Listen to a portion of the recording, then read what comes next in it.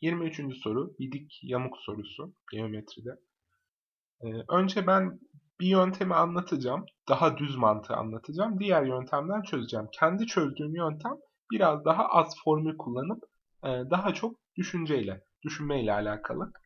Da, geometri olduğu için görmeyle alakalı. Hani normal yöntemde şunu yapabilirsiniz. 2, 4, burası 2 kök 5 olur. Niye? Çünkü a kare artı b kare eşittir c kare olacağından 4, 16 daha 20. Şurası kök 20 olur. Kök 20 de 2 kök 5. Sonra şöyle diyebiliriz. Burası A, şurası B, A artı B 90. Şurası da A artı B olacağından burası da 90. Şey 90 e, olduğundan şurası da B. Ben buradan e, kosinüs B'yi bulurum. Kosinüs yani komşu bölü hipotenüs 2 bölü 2 kök 5. Dolayısıyla 1 bölü kök 5. Sonra bu 1 bölü kök 5'i getirip şurada kullanırım.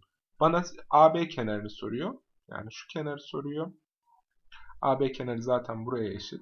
E ben burayı bulurken de e, AD'nin karesi eşittir. AB'nin karesi artı DB'nin karesi eksi 2 AB çarpı DB çarpı kosinüs e, B açısı diye o kosinüs formülünü kullanabilirim. Bunun yerine başka ne yapabilirim? İkinci yöntem bu.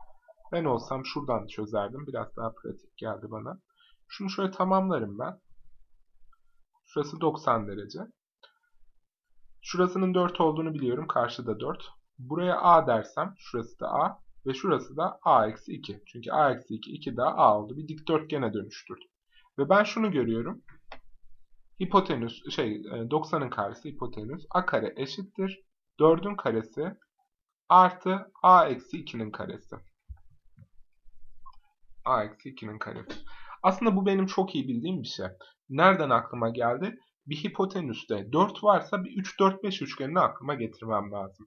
A yerine 5 yazdığımda görüyorum ki 5'in karesi eşittir 4'ün karesi artı 5 eksi 2'nin karesi yani 3'ün karesi. 3'ün karesi artı 4'ün karesi 5'in karesine eşit oluyor. Dolayısıyla A 5'miş. A ben nereye demiştim? Şu kenara demiştim. Zaten onu soruyor. Direkt 5. Ha, diğer yöntemde veya burada görmezseniz 3, 4, 5'i direkt yazabilirsiniz. A kare eşittir. 4 kare, 4'ün karesi artı A kare eksi 2AB artı 4 şey pardon A kare eksi 4a artı 4 a kareler gider. Yine buradan çözülür yani. Çünkü oradan da a5 geliyor. Ha diğer yöntemdeki genelde oradan e, çözümü yapılıyor. O çok pratik değil. Onu da yazayım. Kosinüs teoremi olarak bilinen şey diyecektik ki AD'nin karesi eşittir AB'nin karesi artı BD'nin BD mi o? BD'nin karesi diyecektik. Şuradan çektiğimiz için. Şöyle çekecektik. Eksi 2 AB çarpı BD çarpı kosinüs alfa veya kosinüs oradaki B.